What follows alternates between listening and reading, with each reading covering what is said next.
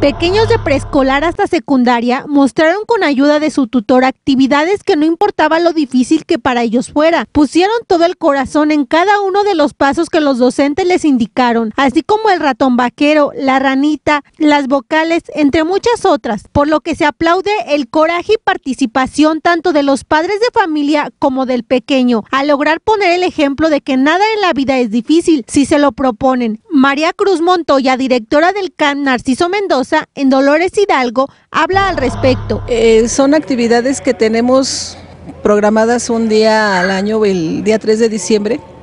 A nivel internacional es el Día de las Personas con Discapacidad y nosotros por cuestiones de organización de la supervisión y de nuestra zona eh, lo distribuimos en los cuatro municipios que comprende la zona de 9 de educación especial y pues nos tocó el día de hoy. Elegimos este día por ser viernes y tener la oportunidad de, coordinar mejor las actividades.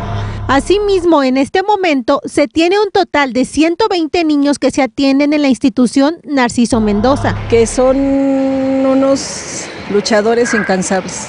Sí, no sé si escucharon el himno nacional de este con este René. Es un joven que decían, es que tiene dificultades pero pues ustedes lo vieron, se comportó perfectamente bien, lo cantó muy bien. Entonces son unos logros que para las otras personas dirían son pequeños, pero para nosotros son unos logros enormes. Y esa es una satisfacción que pues nos deja la Escuela de Educación Especial. Muy emocionada, que les comentaba es mi, primera, mi primer año aquí como directora del CAMP de Dolores Hidalgo, Narciso Mendoza.